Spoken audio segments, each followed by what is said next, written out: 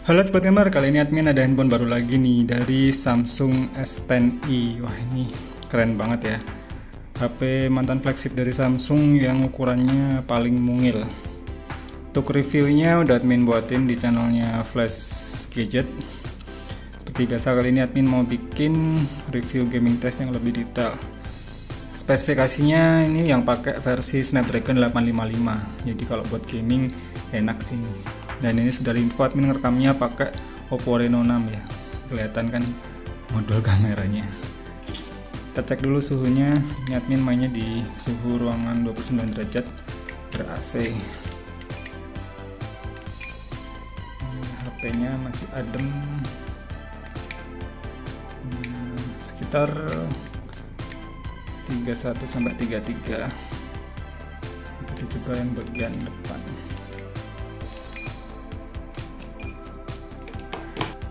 Gamenya adalah PUBG Mobile dan Genshin. Game dimulai jam 12.34, baterainya masih 92% ongoing. Terus ini admin mainnya di brightness agak full ya. Soalnya kalau tak turunin nanti dia flicker. Flicker nggak sih? Tuh kan flicker. Jadi harus admin mainnya agak brightnessnya agak full nih biar nggak flicker. Oke. Kita mulai PUBG nya Snapdragon 855 harusnya bisa rata kanan ya PUBG ya. Mesin juga nanti seperti apa performanya. Kalau untuk tahun 2021 ini. Skor tentunya nyampe 490 ribuan. Mantap sih. Oke untuk kecepatan masuk ke PUBG nya harusnya sih cepet. Ya bener cepet. Ya ini bisa ya kalau mau dimainin ke ultra di ultra bisa. Cuma kita mainnya di XDR Extreme aja. Terus untuk audio juga ternyata support ultra ya. Langsung mulai aja. Ternyata tadi udah kerekam ya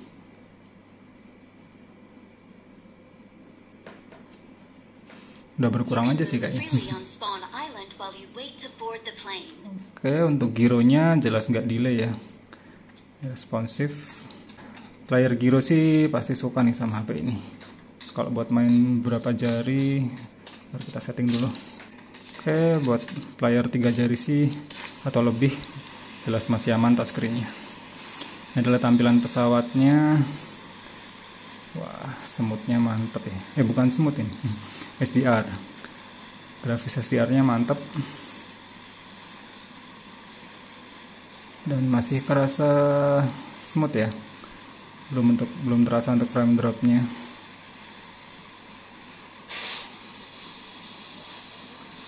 Cuma emang ini layarnya kalau bawaannya agak keset ya. Jadi lebih enak dipasangin mati gores lagi biar lebih nggak keset. Ini keset soalnya.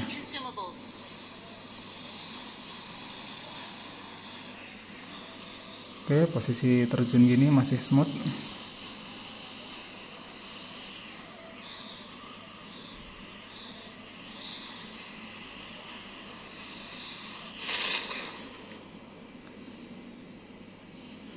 Kalau misalnya main SDR Extreme gini aja enak tentunya kalau diturunin ke smooth extreme lebih enak lagi ya.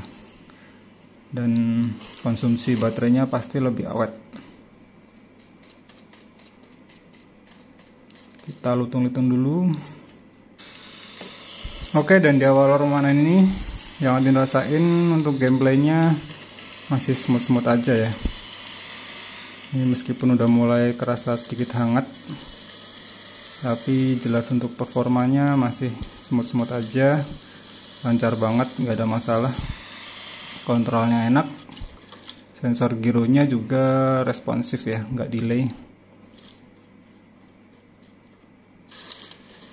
Di settingan HDR Extreme Samsung S10 ini masih playable banget buat dimainin. Oke dan udah sekitar 10 menit bermain. Kita cek dulu suhunya. Udah mulai hangat sini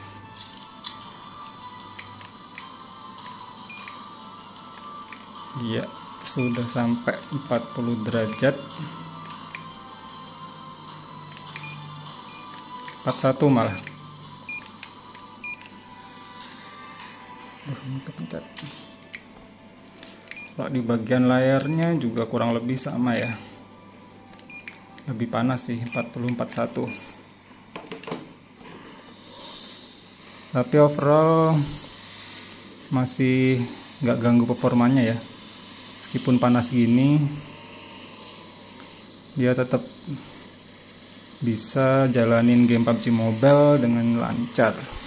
Nggak ada masalah. Ada yang nembakin.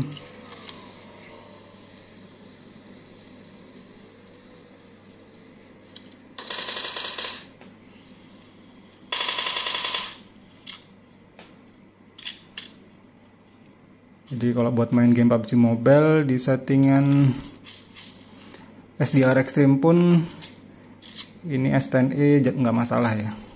Cuma nanti yang jadi masalah pasti di baterainya. Yang boros banget.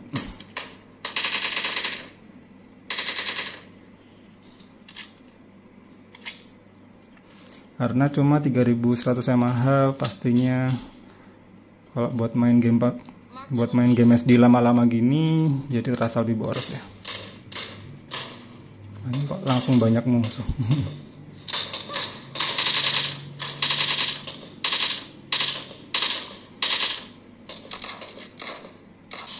Yang jelas kalau buat main game PUBG Mobile ini S10i enak banget ya. Di settingan SDR Extreme pun dia masih smooth banget. Jadi kalau sobat sukanya main di smooth extreme lebih enak lagi pastinya. Wah ternyata udah ketemu player asli nih sob. Baru mau ngelut supply drop ternyata udah ada yang nungguin. Loh ini kenapa teman admin kok posisinya kayak gini? Asli kaget banget tadi. Pas tahu-tahu diserang ditembakin. Auto panik dong. Oke, ini karena udah mendekati late game kita cek suhunya ya. Panasnya udah lumayan kerasa sih di bagian framenya panasnya oh sampai 42 paling panas sampai 42 di bagian belakang. Kalau bagian depan bagian depan juga sama. Kurang lebih 41 sampai 42 tadi ada. Paling panas. Itu tembakin. Ternyata pakai player apa pakai akun baru pun bisa ketemu player asli oke ini nggak nyampe chicken aja ya. Kita udahin aja gamenya. Game berhenti di jam 12.56 baterainya turun ke 81% wah lumayan ya penurunan baterainya. Gimana nih kalau Genshin Impact? Kita langsung coba aja sini temperatur ruangannya juga makin turun ya makin adem. Itu juga berpengaruh ke suhu panas HP nya kita langsung mulai game Genshin Impact 12.58 baterainya 80% tuh udah turun lagi 80% ya. Kita start. Seperti apa performanya Snapdragon 855 dalam jalanin game paling berat ini untuk saat ini? Harus mentok dong. Kalau mentok dia minim flicker oke langsung kita start.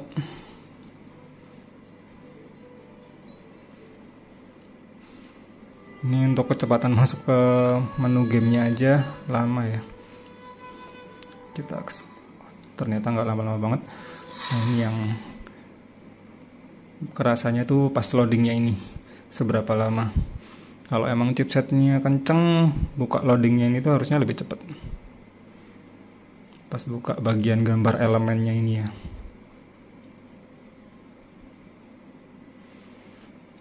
Ini mungil-mungil tapi performanya powerful sih. Pegangannya kalau buat daily tuh enak. Compact banget. Kalau buat ngegame ya gitu karena baterainya uh lumayan cepet ya.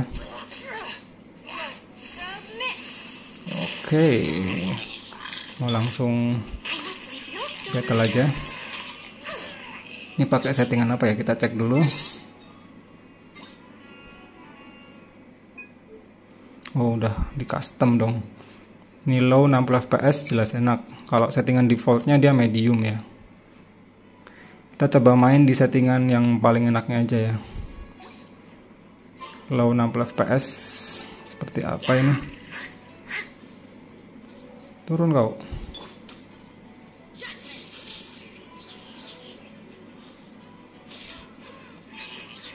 hmm. kalau pakai settingan low 60 fps enak banget ini.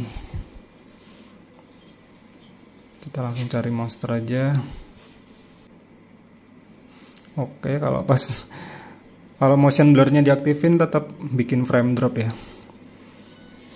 Lebih recommended kalau mau lebih lancar itu motion blurnya dimatiin aja ngeblur-ngeblur gitu tuh malah bikin pusing juga sih. Kita coba. Tetap kerasa frame drop sih. Tapi overall masih playable ya. Settingan aduh padahal low loh. Tapi tetap frame dropnya ngeframe nya lumayan ini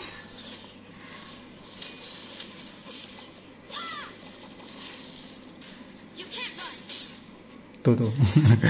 Sampai kerasa banget frame dropnya.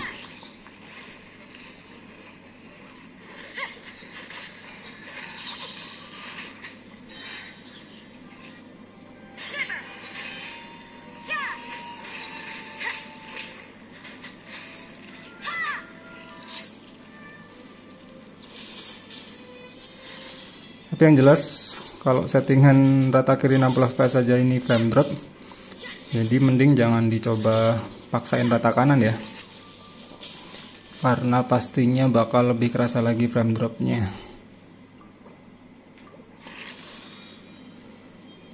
Mirip-mirip lah performanya sama Kirin 90 yang sebelumnya admin coba itu ya.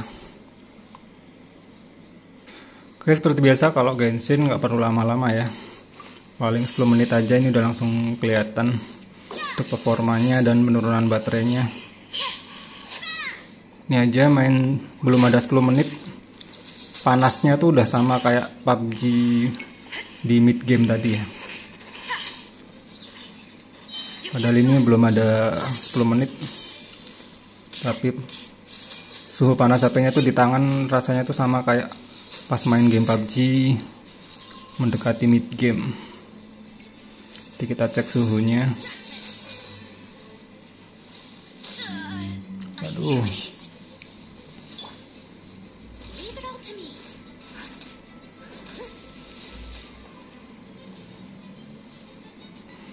kita cek dulu suhunya. Yang paling kerasa sih bagian framenya ya. Bikin gak nyaman digenggam. Ya 39 oh ada yang 37 40 paling panas kalau di bagian depan 41 malah ya mirip-mirip kayak di PUBG nya tadi ya 42 sampai 42 malah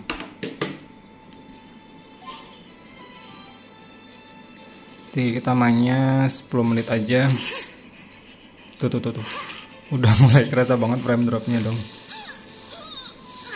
Waduh.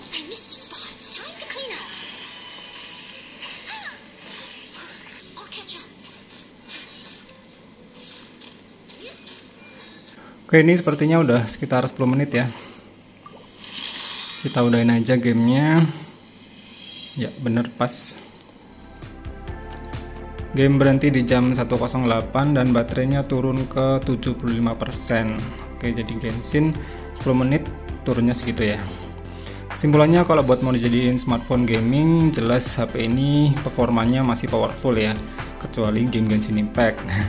Kalau PUBG Mobile tadi settingan rata kanan masih lancar, enak banget gironya, cuma emang baterainya yang mungil ya karena HP-nya mungil jadi kurang enak kalau buat main game pasti bakal cepet habis buat daily oke okay lah masih enak banget Segitu dulu aja untuk video gaming test kali ini. Jangan lupa like, share, dan subscribe.